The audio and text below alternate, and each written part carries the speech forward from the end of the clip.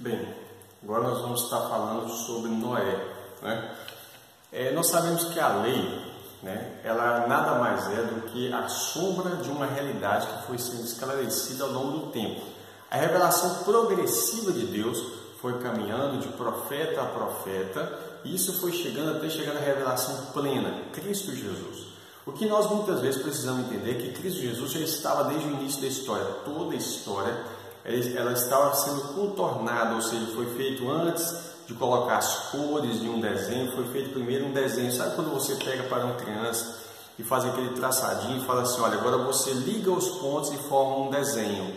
Isso é o Antigo Testamento. A Torá, que é a lei, o princípio, a base do Antigo Testamento, ela é esse contorno que é preciso ser feito para depois ser preenchido e compreender claramente o que é o Novo Testamento. Novo Testamento, como toda a Escritura, está totalmente conectado com o Antigo Testamento e o Antigo com o Novo. Isso é como se você fosse entender um quebra-cabeça gigante.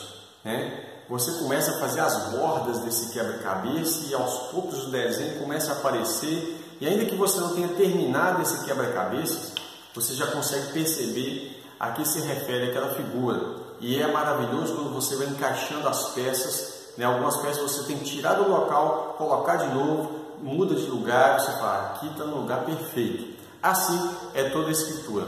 Bem, a história de Noé não é diferente. A história de Ló, a história de Noé, são encontradas no Antigo Testamento, nada mais são do que histórias que estão se referindo, tem tematicamente elas têm mais importância para os eventos futuros do que simplesmente uma narrativa presa no passado que não tem mais nada a ver com o futuro. Só para você ter ideia disso, Jesus fala sobre Noé, sobre os dias de Noé, no livro de Mateus, quando ele está falando dos fins do, do, fim dos tempos. Né? Se você abrir Mateus 24, você vai perceber, deixa eu abrir minha Bíblia aqui, que Jesus fala ali ó, a partir do verso 37 sobre os dias de Noé. Por que, é que Jesus estava falando sobre os dias de Noé? O que, que tem a ver Noé com o tempo do fim? Tem muita coisa a ver. O que tem a ver Ló com o tempo do fim? Muita coisa. Vamos ver aqui em Lucas, Lucas capítulo 17, né, verso 26. Diz assim: E como aconteceu nos dias de Noé, ó, Jesus está falando lá do futuro e ele volta lá no início da Bíblia. Por que é que Jesus faz isso? porque aquela história, aquela narrativa, ela veio com um contorno do tempo do fim. Ela revela muita coisa do tempo do fim. Afinal de contas, a que se refere a história de Noé? A história de um justo que por causa dele toda a sua família foi salva, né? E aí nós temos muitas coisas maravilhosas para falar sobre isso. E aí é lógico que esse vídeo vai ser só uma introdução da história de Noé, certo? E como aconteceu nos dias de Noé, assim também será nos dias do Filho do Homem. Comiam, bebiam, casavam e davam-se em casamento, até ao dia em que Noé entrou na arca e veio o dilúvio e consumiu a todos. Como também da mesma maneira aconteceu nos dias de Ló. Essas duas histórias estão bem conectadas porque elas se referem ao tempo do fim.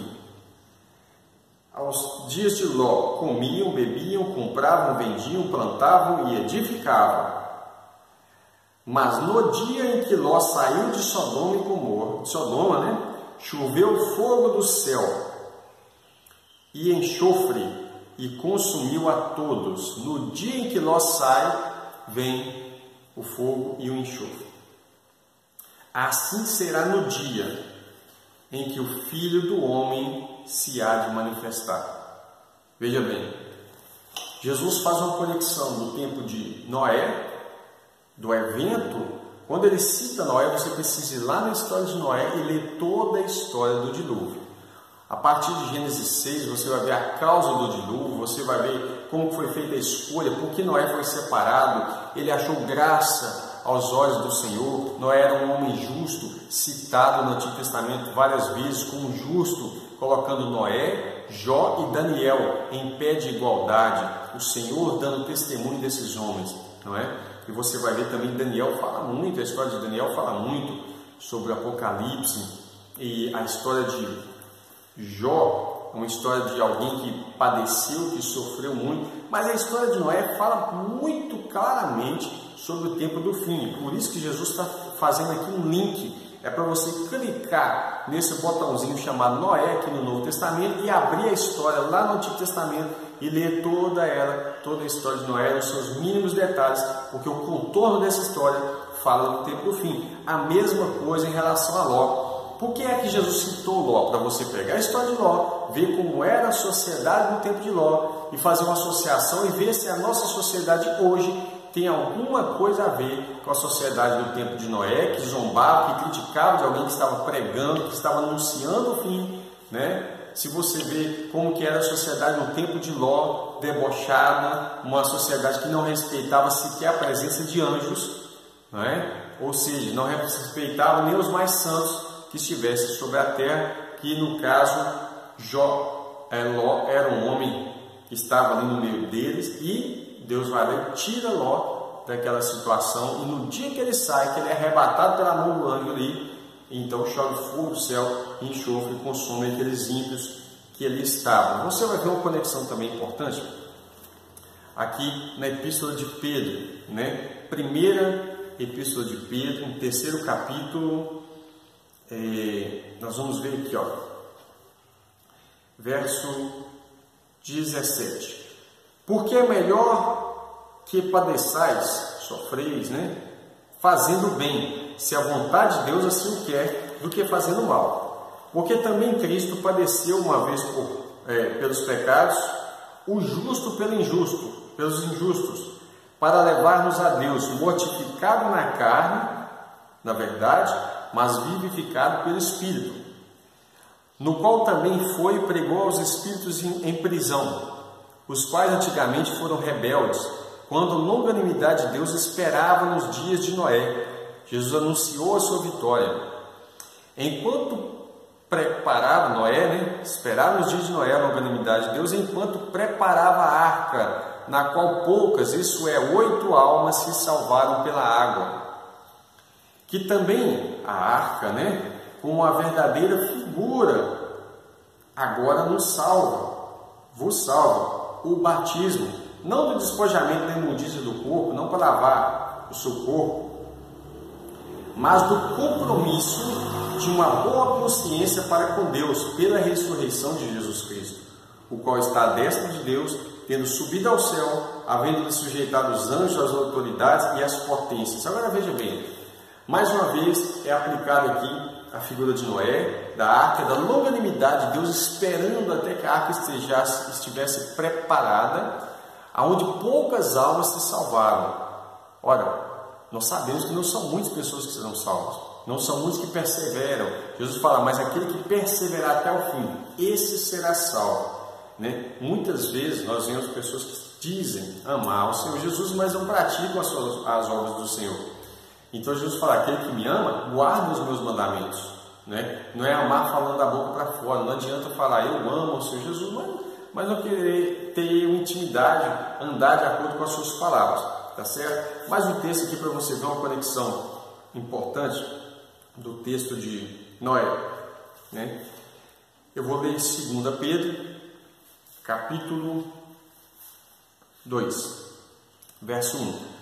Olha para você ver um dos sinais do fim, ok? E também houve entre o povo falsos profetas, como entre vós também haverá falsos doutores, mestres, que introduzirão encobertamente debaixo dos panos heresias de perdição destruidoras, que negarão o Senhor que os resgatou. Veja bem, esses falsos mestres estavam resgatados, mas agora estavam apostatando a fé. Eles negarão o Senhor que os resgatou. E diz assim: trazendo sobre si mesmos repentina perdição. E muitos seguirão as suas dissoluções, pelos quais será blasfemado o caminho da verdade. Você sabe por que, que a igreja está sendo hoje vilipendiada, envergonhada, sendo colocada na mídia, na internet, com, com deboche?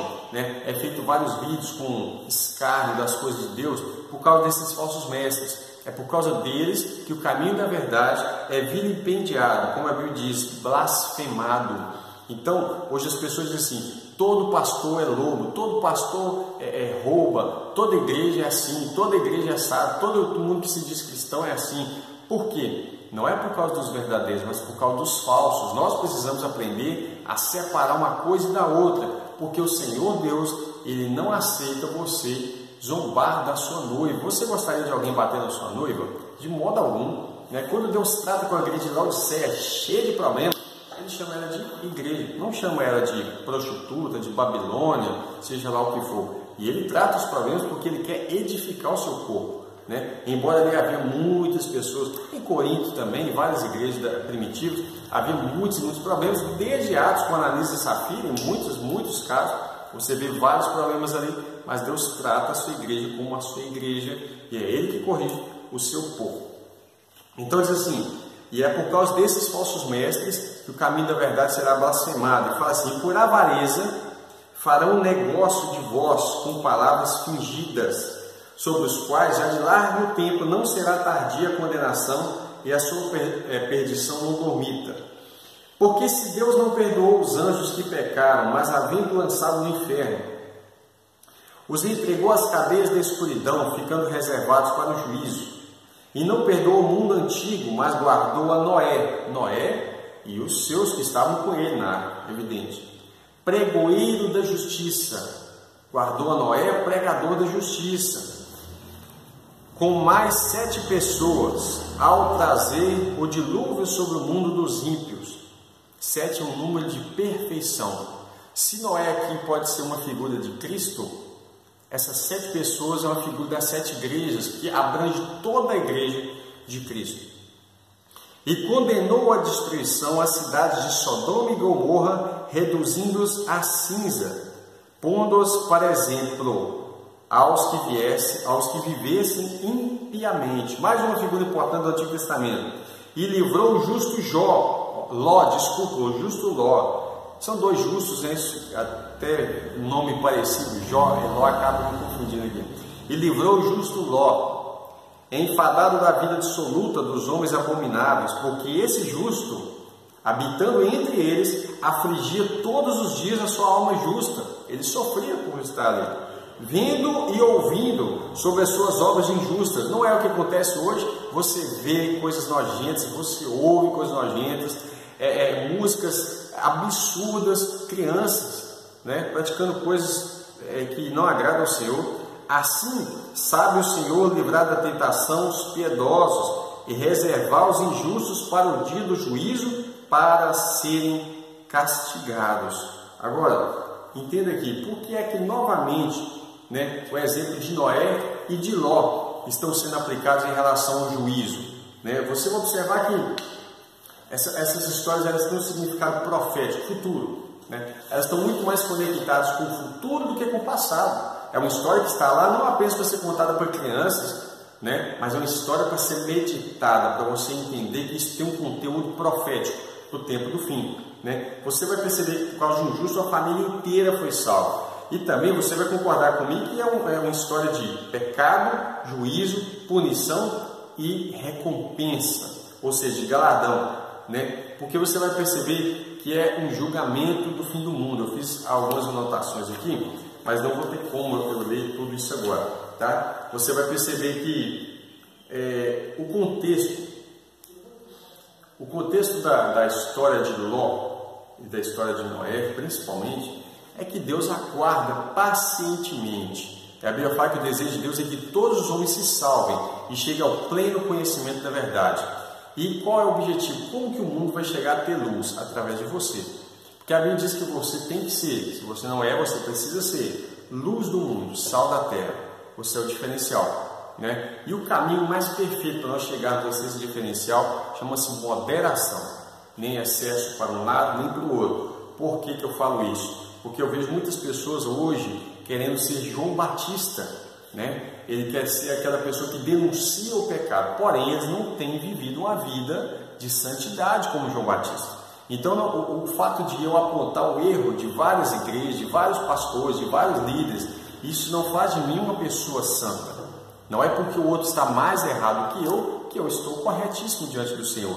Então, se eu vou ter uma voz profética para apontar os erros, eu preciso primeiro ter uma postura profética. E quando eu falo isso, eu não estou falando de ser profeta no Novo Testamento, não, quero, não estou querendo descontextualizar. Estou simplesmente alertando que é fácil a gente apontar os dedos, a gente sentar atrás de um PC, de um computador, né? ou atrás do celular e começar a ficar soltando as nossas, a nossa ira, né? o nosso rancor, a nossa raiva, é, a nossa frustração, dar vazão para isso, dando lugar ao diabo. Porque existem duas formas, a Bíblia diz que chegaria o fim dos tempos, o Evangelho seria blasfemado, e ele fala assim: é impossível que não venha escândalos, mas ai daquele que por ele vier o escândalo. Existem duas formas do escândalo vir até o mundo, sabe como? Uma é eu praticando o pecado e tornando escândalo para o mundo. Essa é a principal forma do mundo ter o escândalo. O problema é a segunda forma, que eu acho que ela chega a ser ainda mais abrangente, porque ela alcança mais pessoas.